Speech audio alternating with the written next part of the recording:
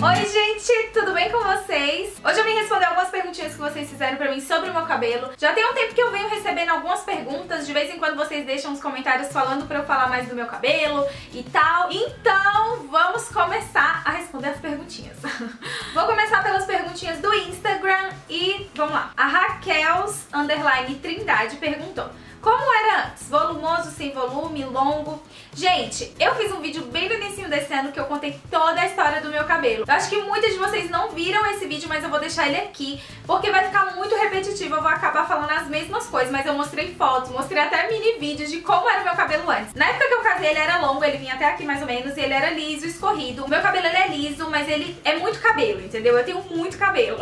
Depois que eu casei, eu fui decidir cortar meu cabelo. Só que aí eu cortei, tipo, não cortei tão curto. Eu lembro que eu cortei ele mais ou menos até aqui na altura do ombro, que foi tipo meio que um chanelzinho e tal. Foi aquele corte long bob, sabe? Que é maior na frente e menor atrás. Depois de um tempo, eu quis cortar bem curtinho mesmo e todo repicado, que foi um dos meus cortes favoritos. Eu amei, gente. Tipo, ele era muito legal, muito legal. Mas assista esse primeiro vídeo que eu fiz. Lá mostra tudo, quem eu me inspirei pra cortar e tal. Eu tinha muita vontade de cortar o pixie, que é esse corte que eu tô hoje. Já tinha muito tempo que eu tinha vontade, gente. Só que eu ficava bem insegura e tal, porque eu achava que meu rosto era muito redondo e tal. Eu ficava com essas coisas na cabeça, meu rosto é muito redondo, não vai ficar legal. Mas, gente, veio uma coisa de coragem em mim, assim, sabe? Numa semana, eu falei, eu vou cortar, eu vou cortar, vai ficar legal, vai ficar bonito. Eu já tava vendo muitas famosas fazendo esse corte e me deu muita vontade. Não tem nada a ver com a pergunta dela, mas uma dica é, pega essa sua vontade, assim, que vai dar, assim, vai vir uma vontade louca, vai lá e corta, sabe? Porque você não vai se arrepender.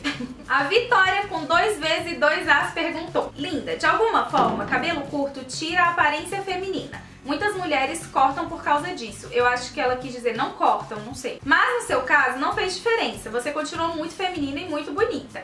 Você tem esse cuidado de manter a aparência por causa do cabelo curto? Eu acho que essa história de tirar a feminilidade e tal, eu acho que não, não acontece isso, sabe? Eu só cortei o meu cabelo, eu não deixei de ser quem eu sou, entendeu? Então eu acho que não alterou muito isso, não. Eu acho que tanto faz o cabelo, eu acho que o que faz a diferença é você, entendeu? Então assim, eu não mudei o meu jeito, entendeu? Não alterou nada no meu jeito feminino de ser, entendeu? Não alterou nada. E eu sempre falo, e foi o que eu senti, assim, depois que eu cortei. Eu me senti muito mais com cara de mulher, assim, sabe? Eu acho que esse corte me trouxe um ar mais de mulher adulta, de mulher, entendeu? Eu tenho 25 anos, entendeu? E às vezes eu acho que eu tinha carinha de 15, 16.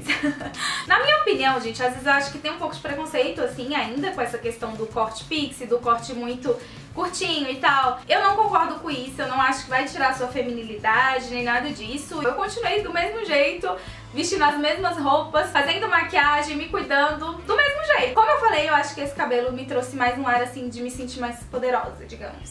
A Raíssa.brito.16 perguntou Linda, quais são os cuidados agora com o cabelo mais curto? Você deixaria crescer novamente? Beijos.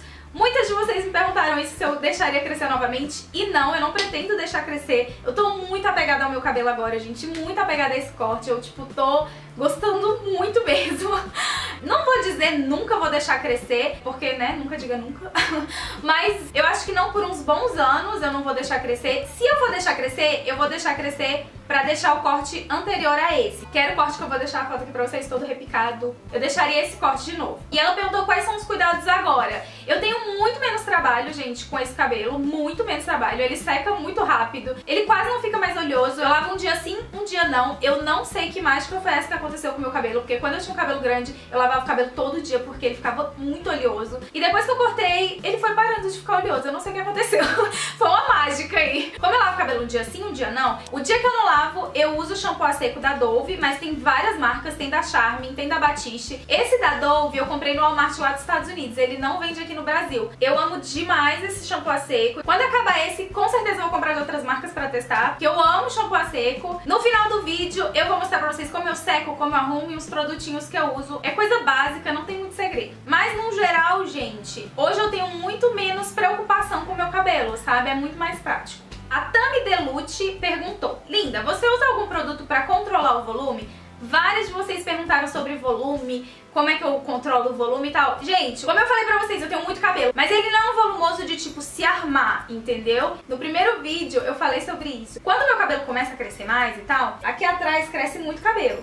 Então começa a, tipo, ficar meio arrepiado, meio esquisito. Eu uso esse óleo aqui da Garnier, que é o Super Óleo Liso Marroquino. Vende em todas as farmácias, vende em muitos lugares esse óleo e é muito bom. E controla um pouco os fiozinhos que vão ficando meio arrepiados, assim, sabe? A Mandy360 perguntou, quais dicas pra quem tem cabelo curto não ficar sempre na mesmice? Adoro seu cabelo, acho que super combina com o seu formato de rosto. Obrigada, Mandy! Então, eu acho que só esse tipo de corte de cabelo já sai totalmente da mesmice, gente. Eu acho que é um corte diferente. Não é sempre que você vê mulheres com esse tipo de corte de cabelo. Hoje eu me sinto muito mais assim, tipo, moderna, sabe? Tipo, sei lá, eu acho que meio que o cabelo completa os meus looks, assim. Parece uma coisa meio louca de falar, mas é o que eu sinto, assim, sabe? Não só o cabelo assim, mas acho que quando você faz um corte mais assim, diferente, sabe? Eu acho que você sai completamente da mesmice. Naquele primeiro vídeo que eu contei a história toda do meu cabelo, eu peguei uma pergunta que uma leitora fez. É a Julia Golin, ou Golin, não sei direito. Ela perguntou, você pinta o cabelo ou ele é preto natural? Gente, eu já pintei muito meu cabelo, eu já fiz mechas vermelhas, eu já fiz mechas loiras, eu já pintei muito ele, assim. A última vez que eu pintei meu cabelo tem mais ou menos uns 4 anos. Quando ele era comprido, eu fiz umas mechas vermelhas nele todo, assim, tipo por baixo. Era pra ser meio que um ombre hair meio de mechas vermelhas.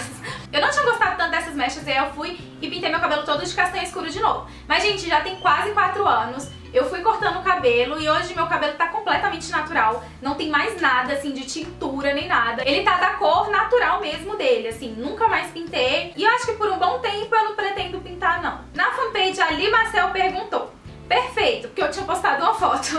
Aí eu acho que ela achou legal o cabelo. Aí ela falou, perfeito, hidrata com o quê? Gente, não tem nada assim que eu use super pra hidratar.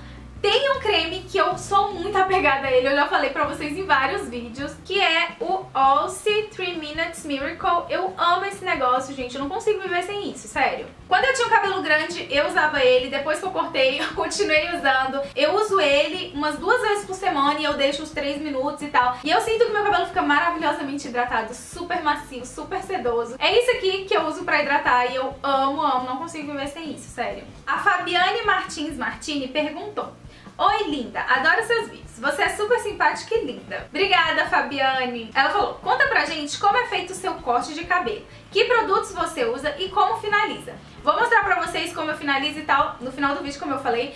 E, gente, como é feito o meu corte, eu não sei explicar muito bem não como ele é feito. ele não é tão repicado, mas ele não é reto. A cabeleireira dá uma desfiada nele atrás, assim. Mas é uma desfiada de leve, assim, sabe? Porque eu não quero que fique aqueles fios muito rebeldes atrás, nem nada disso. Mas tem um fator que eu não falei ainda pra vocês. No primeiro vídeo eu falei que eu cortava cabelo de 15 em 15 dias, mas hoje eu tô cortando ele de 20 em 20 dias. Todo mundo se assusta quando eu falo isso, mas, gente, é porque cresce muito rápido. Meu cabelo cresce muito rápido e vai saindo do corte. O corte vai se perdendo. E eu quero sempre manter o corte. Então, de 20 em 20 dias, eu corto meu cabelo na cabeleireira, gente.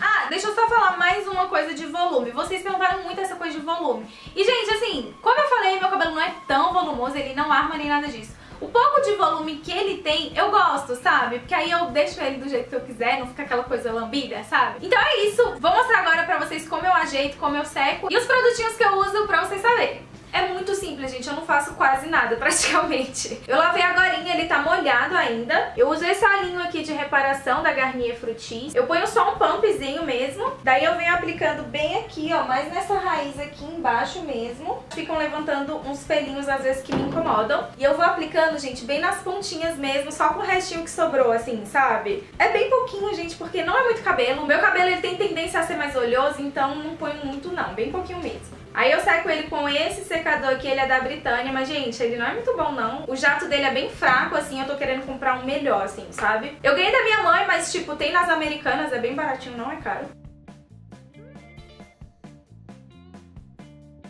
Gente, eu vou secando bem assim aleatoriamente, sabe? Na doida mesmo. Não fico muito assim certinho e tal, não. Às vezes eu vou meio que escovando ele assim, sabe?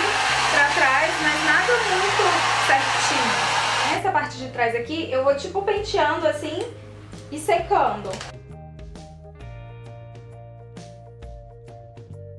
Depois que ele já tá quase todo seco, ele ainda tá meio úmido, eu venho com esse sprayzinho aqui da Garnier, que ele é pra dar brilho no cabelo. Eu gosto muito dele, ele tem um cheirinho bem gostoso, mas eu comprei no Walmart lá dos Estados Unidos, eu acho que ele não tem aqui no Brasil. Mas tem esse tipo de produto de outras marcas. Esse aqui é o Brilliant Teen Shine. Aí eu venho, ó, dou umas espirradinhas.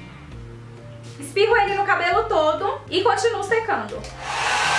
Pronto, terminei de secar. E aí ele é muito de dia. Tem dia que eu pego, coloco ele assim de lado, com a mão mesmo, gente, com a mão. Fica um pouquinho mais bagunçadinho, assim, sabe? De um jeito que eu gosto. Tem dia que eu não tô muito nessa de bagunçadinho, sabe? Às vezes eu prendo ele aqui assim, ó, com um grampinho e deixo a franja um pouquinho assim, ó. Eu uso muito grampo de cabelo, assim, gente. Só que eu sempre prendo o grampo nessa direção aqui, ó com a partezinha reta dele pra cima, que assim prende bem mais o meu cabelo. Isso é quando eu tô nos dias de querer que ele fique mais arrumadinho, assim, mais comportadinho, entendeu? Mas eu sempre gosto dele de lado, assim, eu acho mais bonito, a franja, assim, meio caída. Com esse corte, eu acho que não fica legal em mim, assim, o meu rosto ele já é um pouco mais arredondado, partido no meio não fica muito legal, então eu gosto mais de jogar ele mesmo pro lado. Raramente, tipo, nunca eu passo chapinha praticamente, assim, eu tenho chapinha, mas tem muito tempo que eu aposentei, assim, que eu não uso mais, assim mesmo. Eu gosto mais de usar sempre um secador mesmo, porque eu acho que o cabelo fica mais solto, assim, sabe? Fica de um jeito que eu gosto, assim, sabe? E é isso que eu faço, gente. Muito simples, não tem nada demais.